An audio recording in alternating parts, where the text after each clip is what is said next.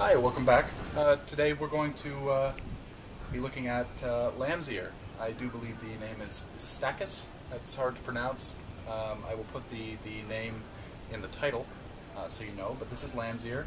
It's a, it's a drought-tolerant um, perennial that uh, is very easy to grow, very foolproof. Uh, as long as you don't have a lot of water and a lot of sun, it will make itself at home pretty well anywhere. It's a very, very hardy plant. Um, it really doesn't need to have a lot of roots to, to uh, make itself home. So anyway, uh, I planted this this year. I had maybe one or two plants that I had dug out from my mother's house, and uh, it really made itself home. This is one year's worth of growth. Um, absolutely fantastic. I love it. It makes me smile. I love to come in and feel the leaves. Um, it really is a nice plant. Uh, it does grow like a weed. Um, it doesn't pop up all over the place. It will if, if, a, if a part breaks off and, and goes and, and uh, has contact with the soil, it will grow. Uh, very easy to pull out, so it's not an invasive, um, hard to control plant. Um, this plant here started off with just, like I said, a small little uh, uh, plant right here in the center. It's since radiated out it's almost going to give us a dead hole, like a donut uh, appearance in the center from where it once was. Um, there's actually a, a daylily that it's it's uh, taken over just at the back here. You can't see it, but there's a daylily to this side, a daylily to this side. I had I had three, or I still do have three, but you wouldn't know it.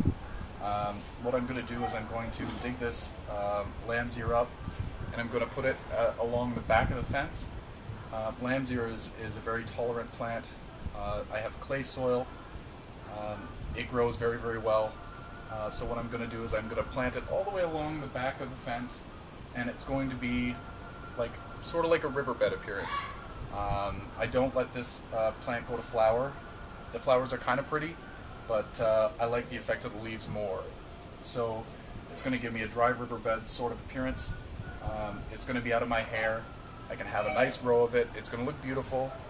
Um, very low maintenance. When it gets out of hand, I'll just pull it out and uh, and do what do what we do.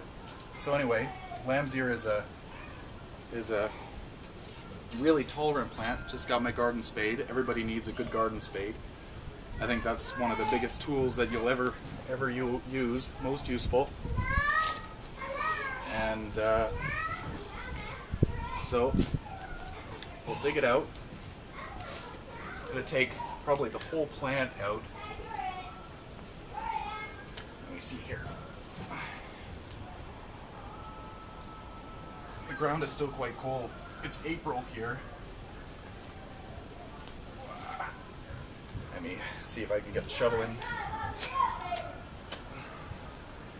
Like I said, it's a very tolerant plant, so um, you don't need to worry about being nice to it. This is a great opportunity if you have any uh, friends or neighbors that want it. Just uh, give them as many of it as you can.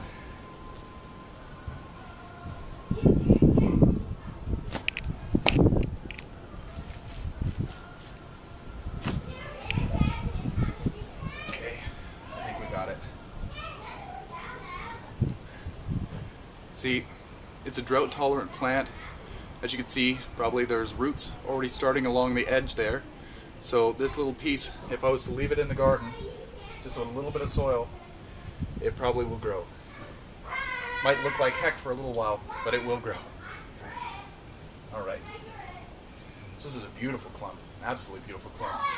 So I'm going to take this opportunity I'm going to um, plant it throughout my yard. Um, it, it will look fantastic. Later on in the season, I'll uh, I'll let you see how they uh, how they how they took and how they're working their magic. And uh, yeah, uh, I do recommend uh, lamb's ear to everybody. Uh, like I said, it's it's a it's a low maintenance plant. It's a very cold hardy plant.